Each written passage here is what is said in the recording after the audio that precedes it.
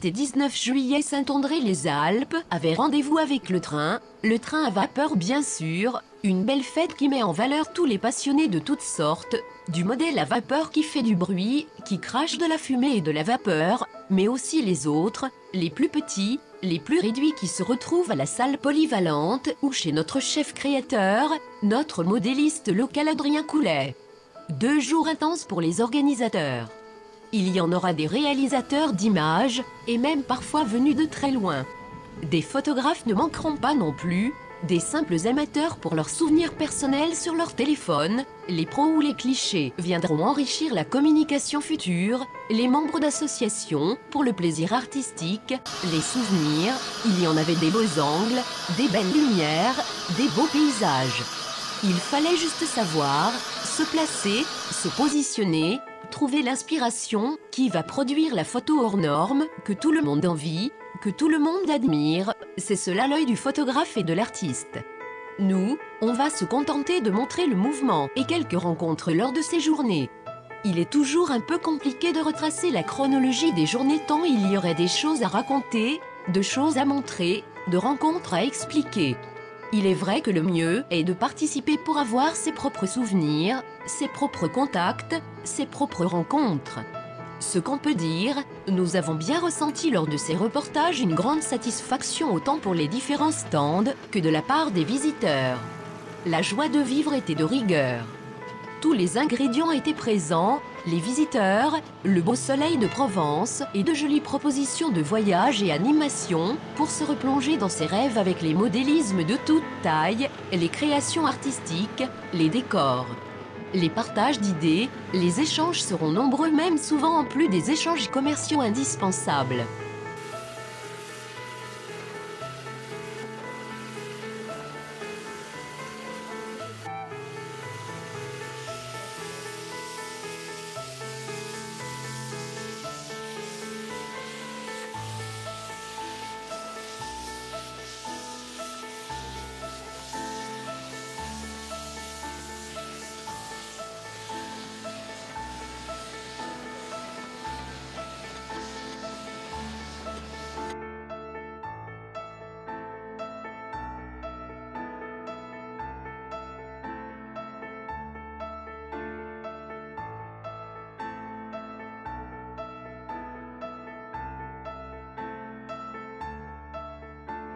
L'association, elle est, elle est où ici Alors le siège est à Paris, Le siège est à Paris, il y a gare de l'Est, dans a- la gare de l'Est même. Et il y a une succursale sur le 06 hein Là, il y a des adhérents dans toute la France D'accord. et il y a des délégués, des correspondants régionaux. Le correspondant régional pour la région PACA, c'est Gérard Bott à Marseille.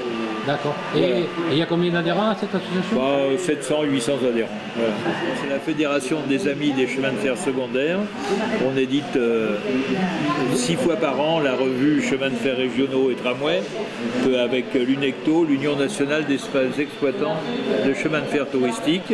Nous organisons des voyages en France à l'étranger, en général à peu près six fois par an, et nous essayons de préserver du matériel ferroviaire historique, comme la 230T du réseau breton, qui est actuellement à Puget-Aigné, inactive parce qu'il faut y travailler dessus, mais qui va, j'espère, être bientôt restaurée. Voilà, c'est notre but. Voilà, elle a été créée en 1957 et donc elle est toujours vivante.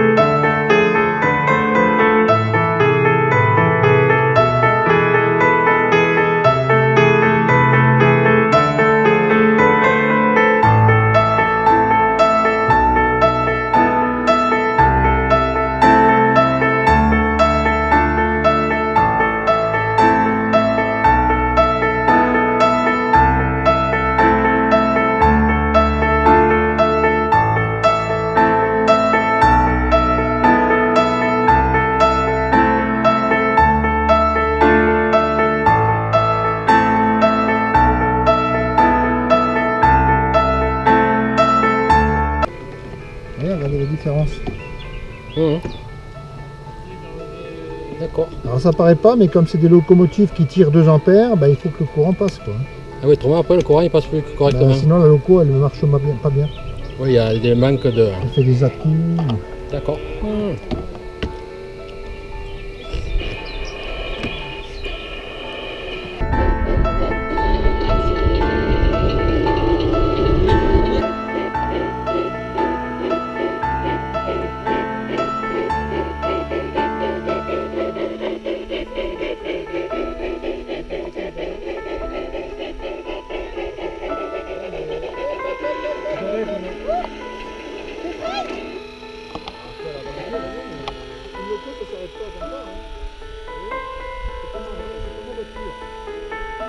Faut anticiper.